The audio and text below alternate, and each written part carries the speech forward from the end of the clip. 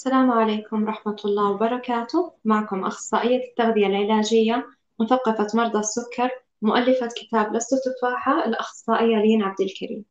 اليوم إن شاء الله راح نتكلم عن موضوع التغذية وأمراض القولون بشكل عام بناء على تصويتكم.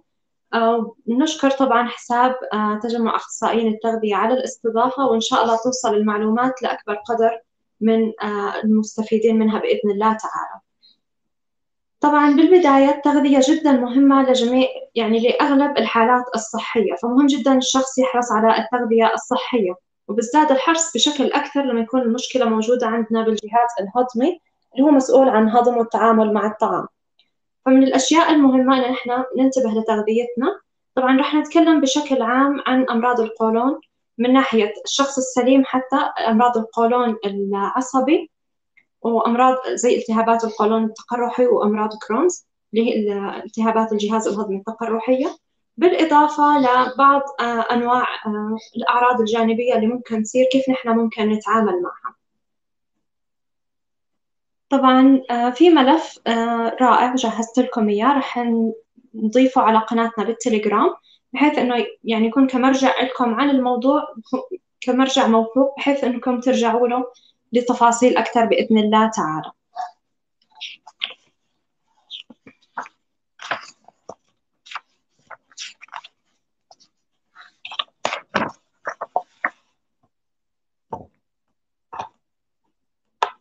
بداية بداية راح نتكلم عن آه، نصائح لقولون وجهاز هضمي صحي للشخص السليم أو لجميع الأشخاص بشكل عام. طبعا النظام الصحي زي ما ذكرت في البداية هو مهم للمساهمة في الحد من الوقاية والمساهمة في علاج العديد من الأمراض. طبعا اضطرابات القولون ممكن أي شخص يعاني منها مو شرط إنه يكون مشخص كقولون عصبي لكن ممكن أي شخص يتعرض لها. بشكل عام عشان نحن ندعم صحة جهازنا الهضمي وخاصة القولون مهم نحرص على تناول الألياف بنظامنا الغذائي بشكل جيد بحيث إن نحن ندخلها طبعا تدريجيا في بعض الأشخاص. ممكن يكون نظامه مفتقر إلى الألياف لفترة طويلة يجي فجأة يدخلها فراح يواجه بعض الأعراض اللي ممكن تكون نفس أعراض القولون وما راح يكون حاجة مريحة له. فمهم إنه يتم إدخالها تدريجيا. طبعا من أبرز مصادر الألياف الخضار الفواكه والحبوب الكاملة. بالإضافة أيضا من الأشياء المهمة اللي بنحرص عليها الاعتدال في تناول الدهون عند بعض الأشخاص الدهون العالية وخاصة الأطعمة المقلية. ممكن تهيج الجهاز الهضمي. بالإضافة الاعتدال في تناول الكافيين مثلا زي الشاي والقهوة لأنها بتحفز بعض خلايا القولون أو تستثير بعض خلايا القولون فممكن عند البعض تسبب لهم بعض الأعراض المزعجة.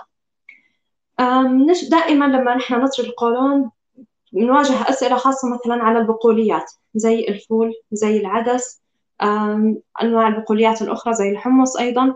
فكأحد الخيارات ممكن الشخص إنه يجرب ينقعها بالماء بليلة قبل اليوم اللي هو راح يستخدمه فيها ويحاول كل شوي يغير الماء عنها. طبعا عملية تغيير الماء ممكن نحن نتخلص من بعض أنواع الأحماض زي حمض الفايتك وبعض أنواع الأحماض بتأثر حتى على امتصاص المعادن منها مو فقط من ناحية آه، من النفخة أو المادة المسببة للنفخة فيها.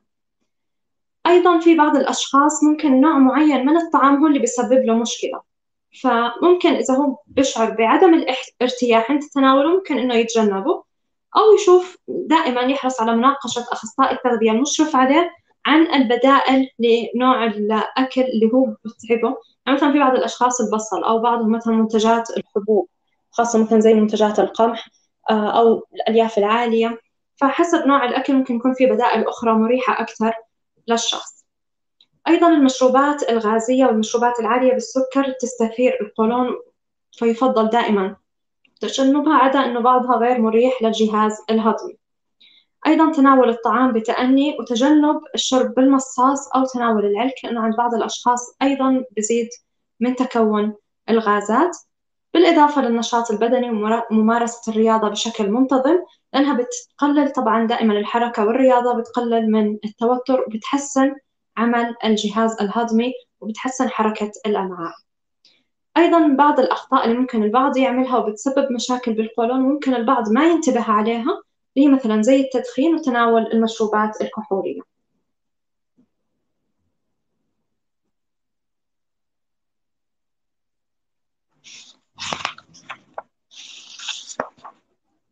الآن في بعض المرضى ممكن هو من نفسه بسبب بعض أعراض القولون يشخص نفسه إنه هو مصاب بالقولون العصبي، طبعًا القولون العصبي بيحتاج إلى خصائص معينة وتشخيص معين من طبيب مختص بالجهاز الهضمي مو بس عشان الشخص مثلا آه، واجه مشكلة نفخة أو غازات أو الله يكرمكم مشاكل الإسهال أو الإمساك أو بعض الأعراض الأخرى للقولون العصبي يشخص نفسه إنه هو مصاب بالقولون العصبي. طبعا القولون العصبي ما يعني سبب الإصابة فيه غير معروف. يعني في عدة أسباب ممكن إنها تكون كأحد الأسباب لل يعني كأعراض خطر لكن أو كأعراض يعني بتأهل الشخص إنه يكون مصاب بالقولون العصبي لكن مو معروف سبب الإصابة فيه. فمهم دائما الشخص يحاول يعرف هو من ناحيته إيش الأشياء اللي بتتعبه من ناحية القولون يتجنبها. مثلا في بعض الأشخاص التوتر عندهم القلق أو العصبية هي اللي بتسبب مشاكل أو أعراض القولون العصبي. فمهم إنه الشخص يحاول يتجنب التوتر والقلق يمارس بعض الأشياء اللي تساعد على الاسترخاء مثل ممارسات التأمل آه الحرص على النشاط البدني ممارسة الرياضة بانتظام أيضا. الأشياء كلها زي ما ذكرت بتقلل من التوتر وبتحسن الحالة النفسية. آه، أيضا تنظيم ساعات النوم خلال الليل جدا مهم. آه، من ناحية بعض الأشخاص ممكن آه، بيأجل مثلا أو بتجاهل رغبته بدخول دورة المياه. وهي الحاجة بتأخر عندنا عملية الإخراج بشكل طبيعي. وممكن تسبب أيضا بعض الأعراض من فترة لأخرى اللي هي بتكون مثلا زي الإمساك المزمن بسبب إنه الشخص سبب زي كسل بسيط بسبب هو تأخيره لذهابه لدورة المياه. فمهم جدا إنه الشخص يعرف وين هو المشكلة اللي عنده بناء عليها بتم التعديل. أيضا البعض ممكن ما بتناول ماء بكمية كافية وهاي الحاجة غلط. مهم جدا شرب كمية كافية من الماء. طبعا احتياج الماء بيختلف من شخص لآخر حسب عدة عوامل من ناحية عوامل صحية أو حتى من ناحية الوزن وعوامل أخرى. آه زي ما ذكرت بالنسبة إلى نصائح القولون للشخص السليم مهم جدا تجنب التدخين والمشروبات الكحولية وتجنب المشروبات العالية بالسكر والمشروبات الغازية لأنها كلها بتستثير القولون عنا. أيضا المشروبات المحتوية على كافيين لو كان الشخص بتعب منها مثلا زي مشروبات القهوة أو الشاي يتناولها باعتدال ما تكون بإفراط. أيضا مضغ الطعام بتأني تجنب بلع الهواء لأن بعض مثلا من طريقة الأكل الخاطئة بيواجه مثلا بعض مشاكل النفخة أو الغازات. أيضا من أهم النصائح اللي بنلاحظ نحن مثلا كأخصائيين تغذية بتم إهمالها من الأشخاص اللي هو تجاوز الوجبات. ممكن شخص يجلس فترة طويلة بدون أكل فهاي الحاجة بتتعب الجهاز الهضمي عند المصابين بالقولون العصبي. فمهم جدا تنظيم أوقات تناول الوجبات بحيث إنه الشخص ما يدخل نفسه يأكل وجبات كبيرة بوقت واحد. أفضل حاجة تقريبا اللي بتمشي بطريقة صحيحة مع الأشخاص المصابين بالقولون العصبي اللي هو تنظيم الوجبات تقريبا إلى وجبات صغيرة متعددة خلال اليوم تقريبا تتراوح من خمس إلى ست وجبات. وممكن بعض الأشخاص حسب احتياجهم من السعرات ممكن أنها تزيد أو تنقص بشكل أو بآخر. من الأشياء المهمة اللي نحن بننصح فيها أيضا كأخصائيين اللي هو وضع دفتر أو مذكرة لمراقبة الطعام وتسجيل متى بتظهر الأعراض. طبعا في بعض الأشخاص ما بيكون واعي إيش نوع الأكل بالضبط اللي بيعمل له المشكلة ما بيعرف إيش هو ممكن الأكل اللي يتجنبه ممكن مثلا الحليب بيسبب له مشكلة لكن هو مو واعي بمشكلة الحليب فقط. بروح يتجنب جميع منتجات الحليب من حليب من لبن من زبادي. لكن هالحاجة خاطئة لأنها راح تسبب له مثلا ما راح ياخذ العناصر الغذائية الكافية له فدائما لما نحن نعرف وين المشكلة بالضبط أنا بتجنبها بشوف البدائل الأخرى المتاحة إلي بدون ما أحرم نفسي بدون ما أتسبب لنفسي بأعراض. طبعا لما بيتم تسجيل الأكل أو الأشياء اللي بتسبب لنا مشاكل القولون مهم إنه الشخص يناقشها دائما بزيارته مع الطبيب وبزيارته مع أخصائي التغذية. آه، أيضا في بعض الأشخاص مثلا بمشي أو بيمتنع عن بعض الأكل أو بمشي على حمية القولون لمدة مثلا يومين أو ثلاثة وبيحكي ما استفدت من النظام. ممكن تأخذ النتيجة إلى حد شهر في بعض الأحيان حتى ومرات أطول عشان يبدأ الشخص يشعر بالارتياح ويبدأ يحس إنه فعلا النظام جاب نتيجة معه. فمهم دائما عدم استعجال النتائج زيه زي أي خطة علاجية نحن بنتبعها.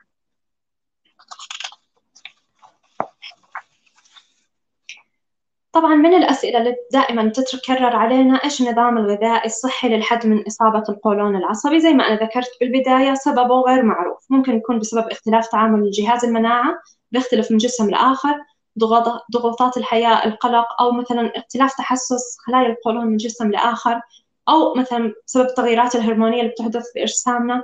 أو ممكن والسبب الغالب في أكثر الأحيان اللي هو سوء العادات الغذائية. فبناء على المشكلة بتم الحل. هل بتم النصح مثلا بالعلاج بأعشاب طبيعية للمصابين بالقولون العصبي؟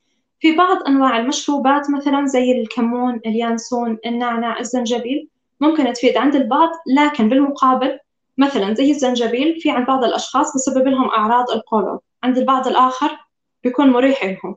زي ما ذكرت في البداية مهم الشخص دائما يراقب نفسه يعرف إيش الأكل أو المشروبات اللي بتسبب له المشاكل بناء عليها يتجنبها.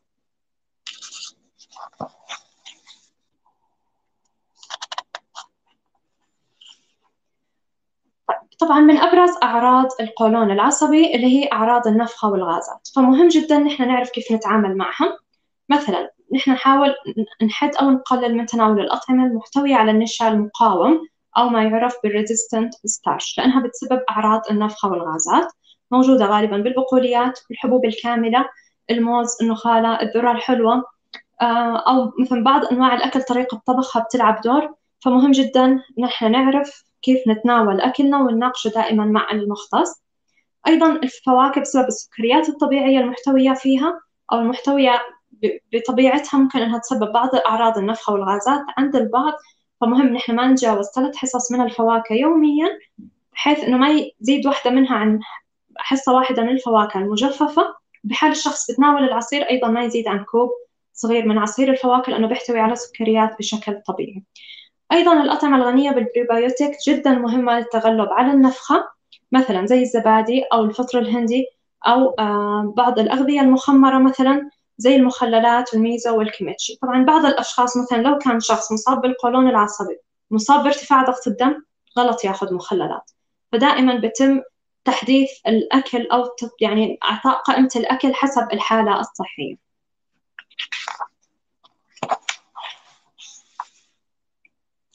أيضا أحد الأعراض اللي هي الإسهال ممكن يحدث مع بعض المصابين بالقولون العصبي.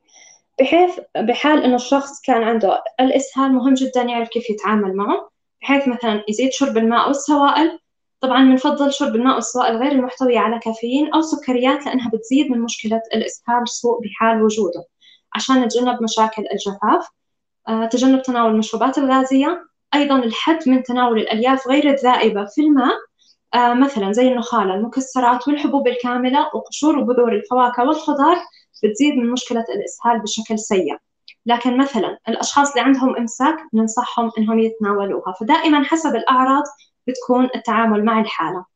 أيضا تجنب الأكل العالي بالدهون والأكل العالي بالبهارات خاصة مثلا زي البهارات الحارة لأنها بتستثير الجهاز الهضمي. أيضا اللاكتوز بيستثير آه عمل خلايا القولون عند البعض أو بزيد حتى من الإسهال سوء. طبعا بالملف اللي إن شاء الله راح أرفق لكم رابطه في أنواع أكل آه، مسموحة للتعامل مع الإسهال موضحة بشكل جدول مع ملاحظاتها وفي أنواع ممنوعة. فممكن ترجعوا لها بإذن الله. الآن راح نتكلم عن الإمساك. طبعا مهم أيضا تناول كمية كافية من الماء للمساهمة في إخراج الفضلات بالشكل الصحيح تناول الألياف غير الذائبة آه لكن ممكن تزيد عند الغازات عند البعض خاصة لو ما بيأخذوها بشكل منتظم. آه فبننصح الشخص المصاب بالإمساك بزيادة نسبة النخالة مثلا الحرص على الحبوب الكاملة آه ويأخذ الفواكه والخضار دائما بقشورها بدون إزالة القشرة الخارجية. أيضا لما الشخص يتناول الألياف ما يبدأ فجأة مرة واحدة فيها حتى وهو عنده إمساك لأنه ممكن تزيد مشكلة الإمساك سوء خاصة لو ما كان بيشرب ماء بشكل جيد. فممكن يتعلم طريقة زيادة الألياف بطريقة صحيحة بحيث أنه ما يزيد عن حصة غذائية واحدة من الألياف كل يومين بنظامه الغذائي لحد ما يوصل للنسبة المطلوبة منه. أيضا ممارسة الرياضة زي ما ذكرنا بتنشط عمل خلايا الأمعاء والقولون بشكل خاص. وتنظيم الذهاب لدورة المياه بالإضافة للوضعية الصحيحة للجلوس عند إخراج الفضلات زي ما موضحة بالصورة.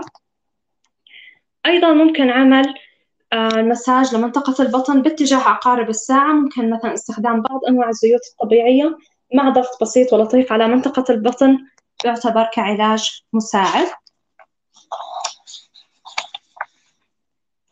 أيضا في حمية تعرف بال low food diet low FODMAP diet عفوا. آه، طبعا هي حمية قليلة ال FODMAP بالعربي. طبعا هي. اسمها اختصار لأول حرف من عدة أنواع من الكربوهيدرات وبشكل خاص هي لأنواع من السكريات. آه طبعا هي لا تعتبر حمية قليلة الكربوهيدرات لأن البعض بفكرها مثلا تعتبر من الحميات قليلة الكربوهيدرات. هي فقط منعت أنواع معينة من الكربوهيدرات. آه فمهم الشخص إنه يتجنب بعض أنواعها آه طبعا في لها جدول خاص بيكون فيها أنواع أكل معينة. طبعا الأطعمة بحد ذاتها ما بتسبب مشاكل لمعظم المصابين بمشاكل الجهاز الهضمي إلا لو أخذوها بكميات كبيرة أو بشكل آه، متواصل دائما لكن البعض ممكن يواجه بعض المشاكل منها. طريقة الحمية أن الشخص بيقطع جميع الأطعمة اللي بتحتوي على السكريات بتكون ممنوعة مدة ست إلى ثمان أسابيع. لو ما تحسنت الأعراض مهم إنه يتابع مع آه، مختص بالتغذية العلاجية عشان يعرف كيف يرد يرجع لكل نوع من أنواع الأكل ويعرف وين الأكل بالضبط بسبب له المشكلة طبعا ممكن تساعد البعض وممكن ما تساعد فبتعتمد دائما على الشخص. طبعا نحن بكتابنا كتاب لست تفاحة تكلمنا بالتفصيل عن الحمية فإن شاء الله ممكن يعتبر لكم كمرجع ترجعوا لها بحيث إنها تساعد. أحد أمراض أيضا آه القولون اللي بتهمنا دائما زي التهاب القولون التقرحي وداء كرونز فممكن الشخص ما يقدر يهضم جميع أنواع الأطعمة فبيحتاج مثلا يهتم بزيادة السعرات الحرارية يعوض نسبة البروتين يدعم الفيتامينات بشكل أكثر زي ما بيتم توصيته من قبل الفريق الطبي. يتناول أيضا وجبات صغيرة متعددة خلال اليوم. بحال وجود أعراض في الجهاز الهضمي مهم يلتزم بالأغذية بقائمة المسموح ويتجنب الأغذية بقائمة الممنوع. أيضا أضفت لكم إياها بالملف راح تفيدكم بإذن الله. أيضا تناول السوائل والماء خاصة بشكل خاص كما تم التوصية دائما لتجنب التعرض للجفاف.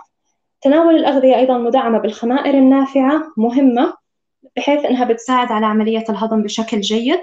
أيضا مهم للمصابين بكرونز أو التهاب القولون التقرحي الحرص على آه، تناول بعض أنواع المكملات الغذائية سواء كفيتامينات أو مكملات أخرى مدعمات حسب الحالة الصحية.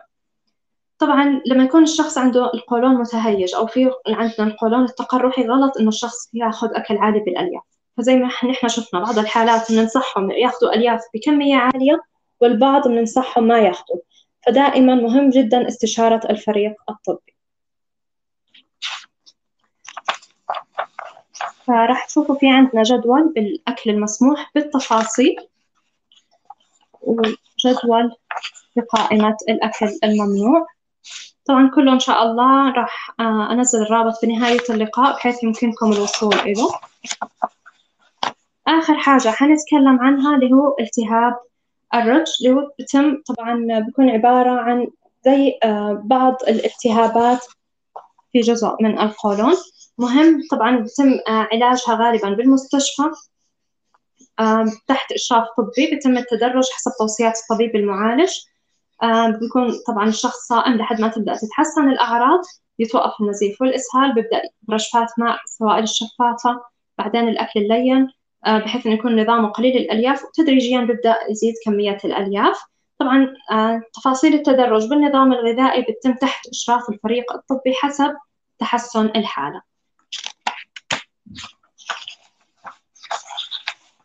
طبعا لما يبدأ الشخص يشعر بالتحسن لما يتوقف الحمد لله أعراض الالتهاب آه، بحيث يتوقف النزيف والإسهال. مهم الشخص يبدأ بالنظام الأكل اللين ويكون قليل الألياف. بعدين تدريجيا يبدأ بزيادة الألياف تقريبا من 6 إلى 10 جرام زيادة على التوصيات القياسية اللي هي الاحتياج. طبعا دائما إذا الشخص ما بيوصل لاحتياجه من الألياف وكان محتاجها مهم جدا يستشير أخصائي التغذية العلاجية عشان يعرف كم كمية الألياف المناسبة له عشان يتفادى المشاكل اللي هو دائما بيعاني منها. آه، حاولت أشملكم أغلب المواضيع المتعلقة بالقولون بشكل مختصر. رتبت لكم إياها بملف إن شاء الله. راح ننزله بقناتنا بالتليجرام. آه، بحيث إنه يعني يعتبر كمرجع عندكم. طبعا المرجع ما بغنيكم أبدا عن استشارة المختص سواء كطبيب أو أخصائي تغذية حسب حالتكم بتم التعامل معها. وإن شاء الله إني أكون أفدتكم. شاكرة لكم لو في أسئلة ممكن نجاوبها.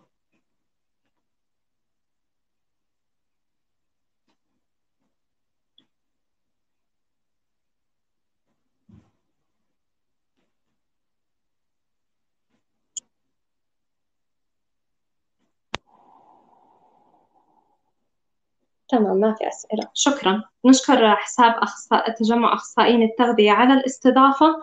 وإن شاء الله إني أكون قدرت أفيدكم بالمعلومات. شاكرة لكم.